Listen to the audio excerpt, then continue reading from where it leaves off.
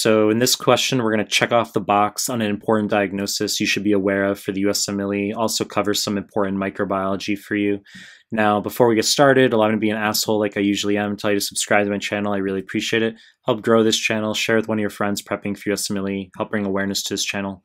Hit the like button, hit the bell if you want notifications. Find me on Instagram at Mehlman underscore medical, M E H L M A N underscore medical. Link is down below. And find me on Telegram. Recently created a Telegram group and channel. The links are down below. Now let me start the fucking question where we have a 71 year old man with a three week history of a diffuse red rash over most of his body. The palms and soles are spared. This image is showing us a diffuse exfoliative erythroderma.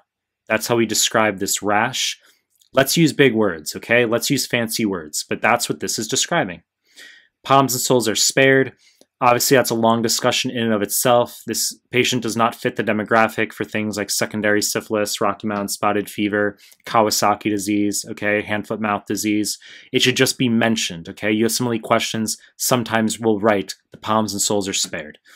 Peripheral blood smear shows T lymphocytes with cerebriform nuclei, a characteristic finding seen in both mycosis fungoides and Sézary syndrome, okay, or Sézary syndrome.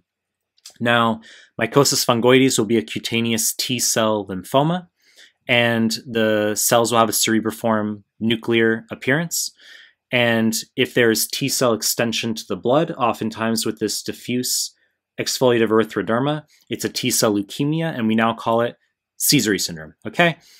Now, questions asking about the viral etiology.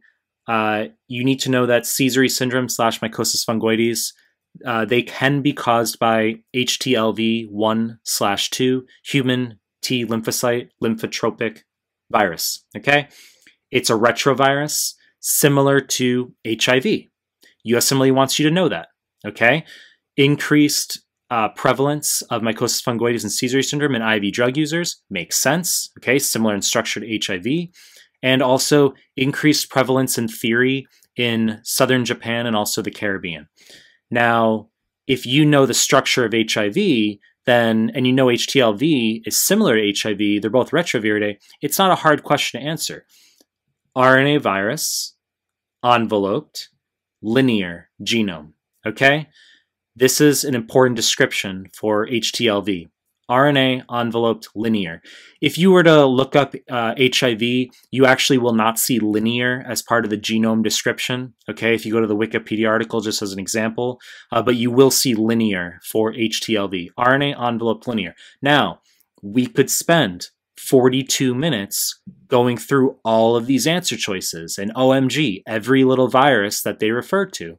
But I'm only going to mention a couple high yield ones here you should be aware of.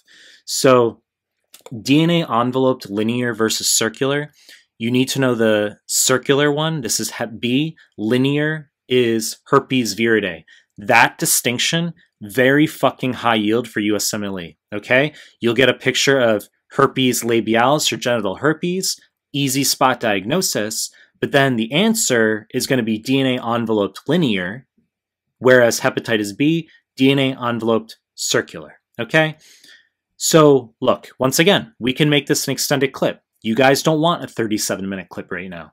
So, the short take home is mycosis fungoides is a cutaneous T cell lymphoma, Sézary syndrome, a T cell leukemia, if we do histology, we will see T lymphocytes that have nuclei with a characteristic cerebriform appearance. Okay, HTLV 1 slash 2, it's a retrovirus similar to HIV. It's RNA, it's enveloped, and has a linear genome. Okay, you know the deal. I'm going to continue making more content. If you like my stuff, subscribe to my channel. And I appreciate your time. That's it.